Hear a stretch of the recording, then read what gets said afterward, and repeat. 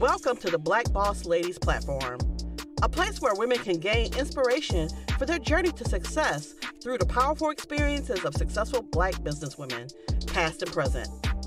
These women are redefining leveling up by creating legacies in their own time. Are you ready to do the same? Join a discussion on the BBL platform, the place where legacies live.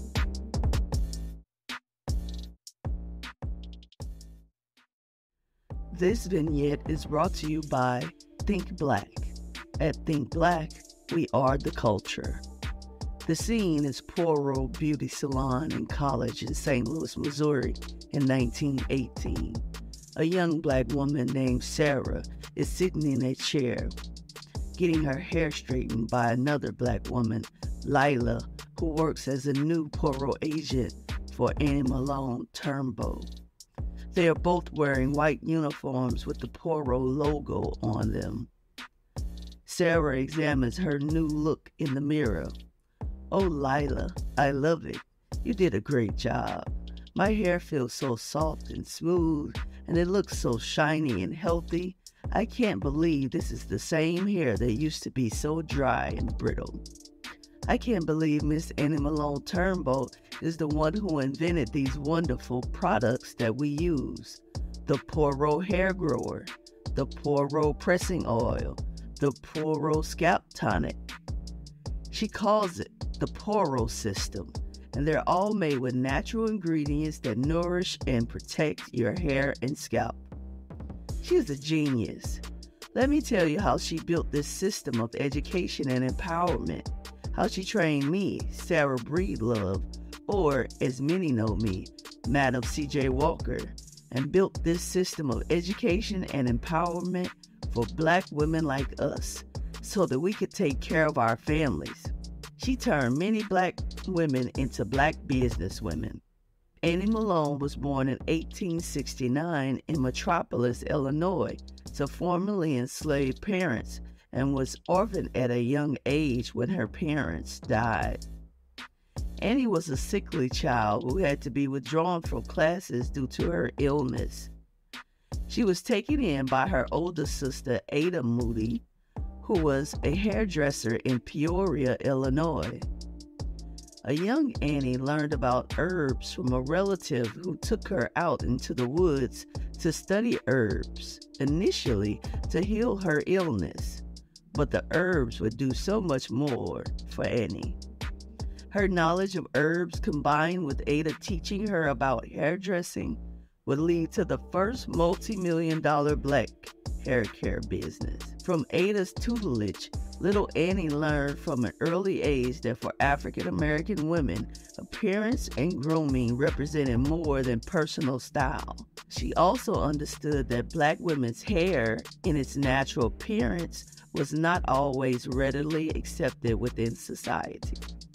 Ada taught Annie how to style and treat different types of hair. She also encouraged Annie to experiment with her own formulas and products using natural ingredients like herbs, flowers, and oils.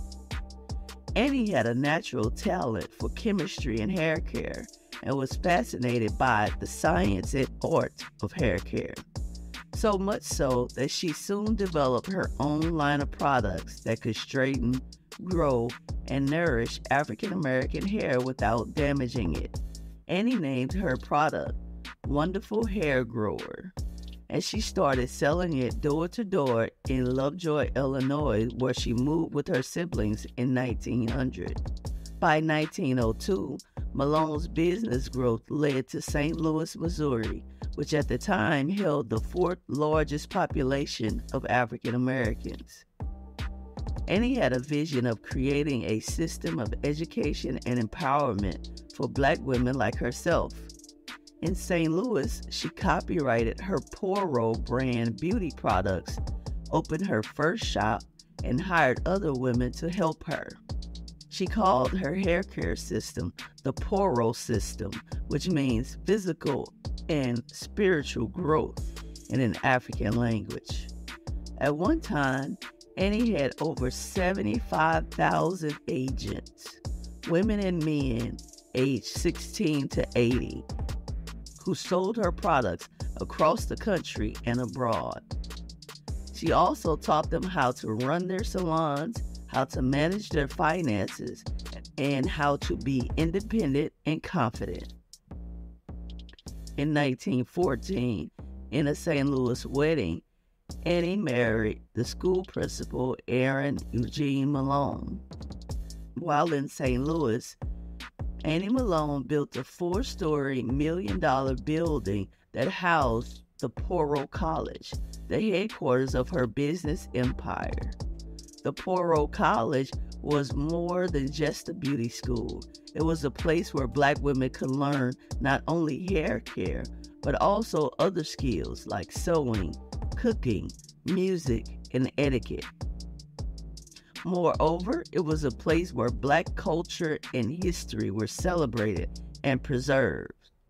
The Poro College had a theater, a bakery, an auditorium, a library, a museum, and a chapel.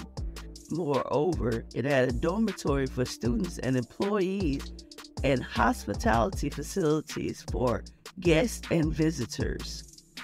The Poro College was a social center for the black community in St. Louis. It hosted concerts, lectures, plays, dances, and fundraisers. It also supported various causes and organizations that promoted black education, civil rights, health care, and welfare. From 1919 to 1943, Malone served as president of the St. Louis Colored Orphans Home. She had donated the first $10,000 to build the orphanage's new building in 1919.